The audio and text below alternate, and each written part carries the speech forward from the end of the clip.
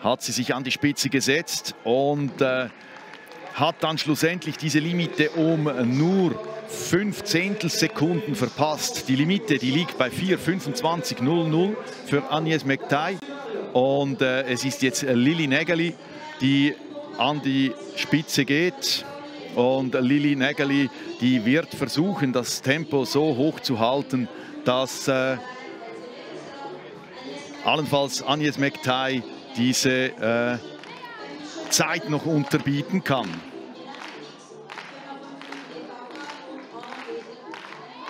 Dann Es geht hier um Gold, Silber, Bronze. Äh, Sibyl Hering ist sicher eine Kandidatin. Laura Giudice auf Platz 2. Dann die ganz junge Athletin auf der Innenkante, weißes Dress, blonde Haare.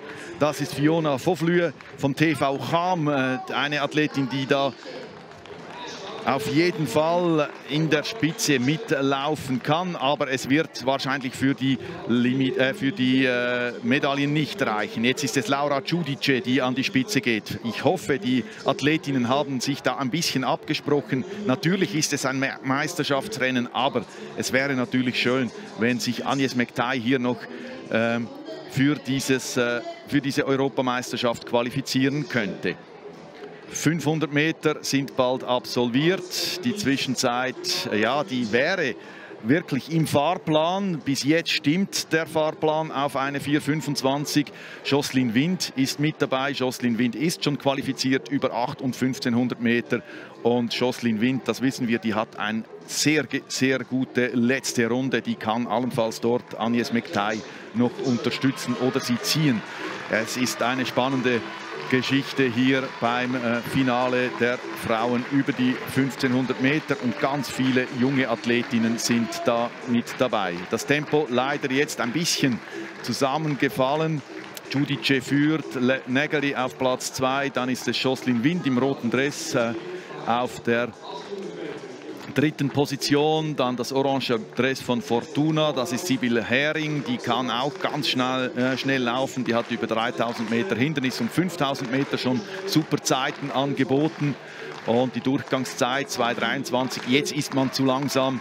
Die erste Runde, die hat gepasst, die zweite Runde nicht mehr. Also man tut gut, gut daran, jetzt das Tempo noch einmal zu erhöhen.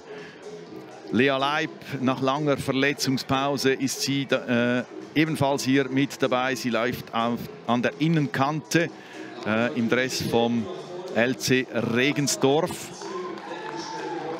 Gleich äh, vor ihr McTay, dann Hering, äh, Wind, Nägeli und Giudice und alle sind noch zusammen. Also das sieht nicht danach aus, dass die Zeit da unter 4,25 kommt. Das äh, Tempo, das ist jetzt zusammengefallen. Wind und Nägeli versuchen es jetzt noch einmal. Aber es sieht auch nicht so aus, als ob McTay da noch Reserven hat. Doch, jetzt hat sie die Lücke gesehen und sie versucht dort durchzustechen.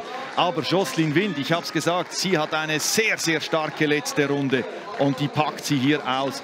Jocelyn Wind mit einem fulminanten Antritt. Nägeli auf Platz 2, Hering auf 3 und es ist dann äh, McTy, die auf der Verfolgung ist, äh, von Flühe an ihren Fersen, die längste im Feld und die kleinste im Feld gleich zusammen unterwegs und kann Wind dieses Tempo durchhalten.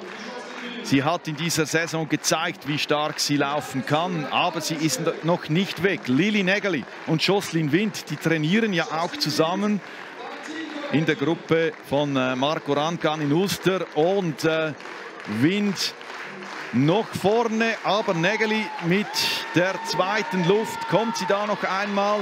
McTy, die ist weg, das ist äh, klar und äh, ich denke, es ist äh, die Athletin von Regensdorf auf Platz 4, 4, 21, 46 für Jocelyn Wind. Das ist ein wirklich unglaublicher Endspurt gewesen, die sie hier gezeigt hat. Und äh, Jocelyn Wind wird Schweizer Meisterin 2021 mit, einem, mit einer starken zweiten Runde. Das ist äh, persönliche Bestleistung für die Bielerin.